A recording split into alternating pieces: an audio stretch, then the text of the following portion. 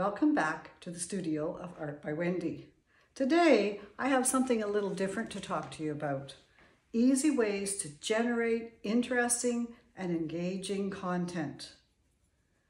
Yes, I know it's a little bit different from what I normally do, but you know, now is the time. I know right now you'd rather be painting, and believe me, I'd rather be painting too. But sooner or later, we've got to address the big issue, and that's social media and how to promote our work. I have discovered some really neat things that helps me generate lots of content that's interesting and engaging. And so I want to share that with you. So let's put all these paints away and let's get to work. First of all, there's some universal truths that you need to know that have to do with working on social media. Are viewers looking for when they're going online? Think about that. It's entertainment, inspiration, and education. And if you think about it, that's probably the reason that you're on there as well. Well, of course, other than promoting your work. The other thing you need to think about is what sets your creative work apart from others? So I'm not just talking about painters, I'm talking about all creative people at this point.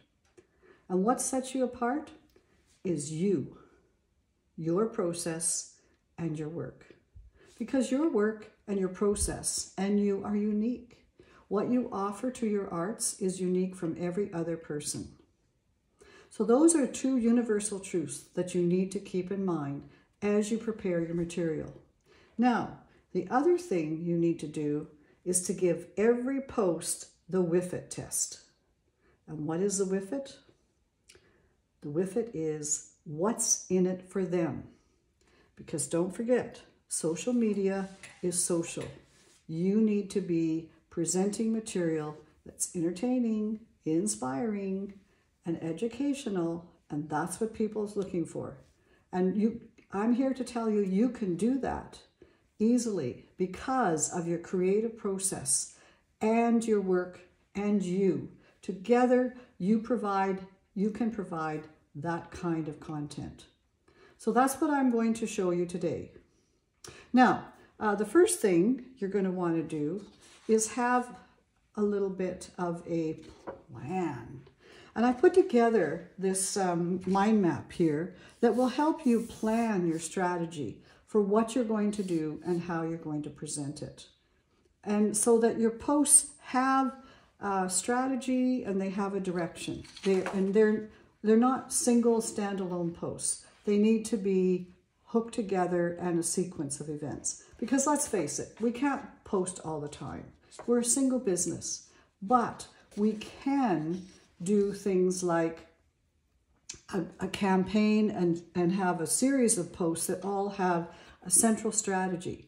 And that's what I want to show you today. Now, my little mind map here is available. If you look online at the um, uh, below, you'll find the uh, link to it. And, and along with this, I will have some other notes that I think will find very useful and very helpful in generating this interesting and engaging content.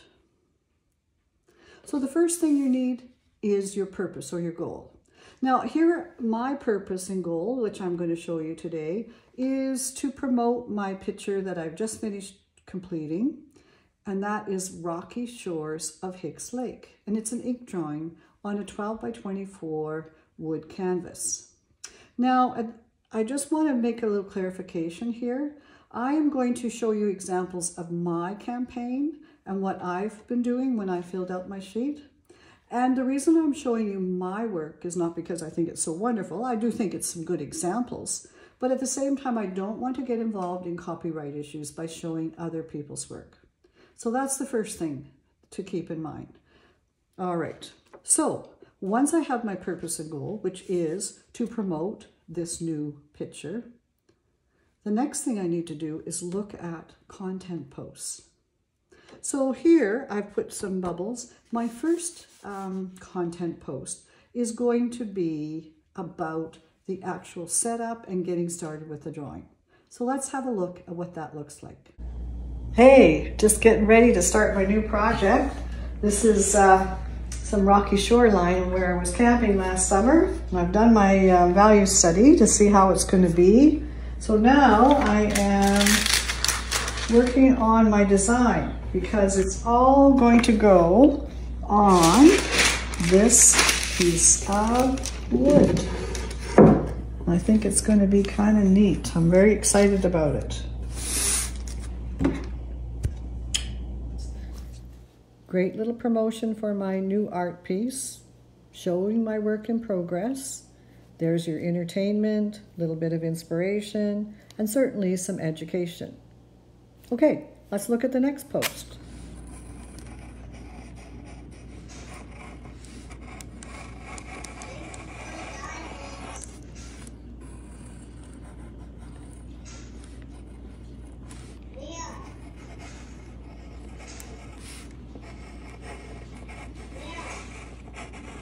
Okay. There we go, 20 seconds. Again, looking at my um, work in progress, presenting my artwork in a different way, catching your attention. Eyes are always caught by seeing hands moving, think, body parts moving, things like that. Okay, let's have a look at the next one. Wow, I am getting so excited. My rocky shore at Hicks Lake is really, really coming alive. Man. Now this piece was even more. You can see my picture is coming into complete towards completion, but 17 seconds, I managed to catch your attention, give you some entertainment value, and inspire you. Plus, starting to build real anticipation for the finished piece. Have you met my helpers? Yes, these rocks are helping me with my shadows, shapes, and edges as I work on my drawing of the rocky shore of Hicks Lake.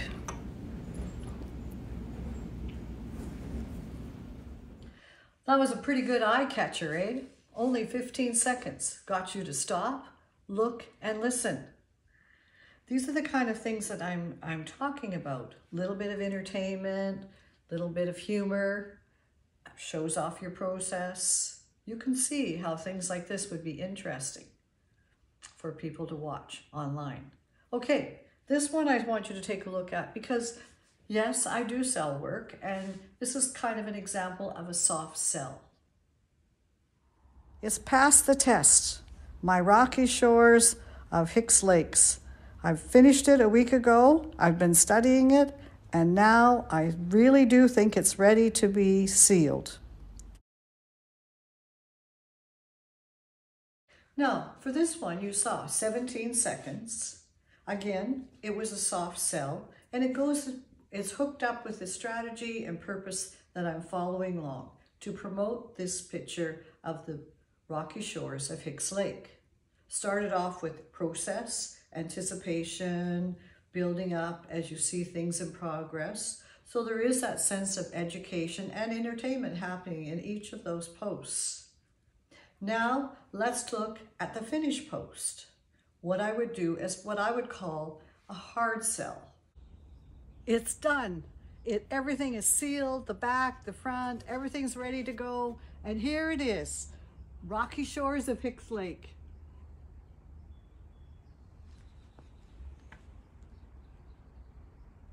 Now you can see in this post, 18 seconds, I've definitely caught your attention.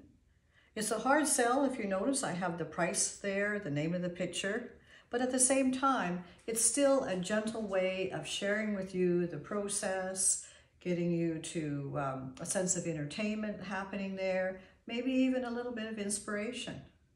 And it's more interesting way to present the picture instead of just picture. So now you will find that creating content does take time and posting, no question about it.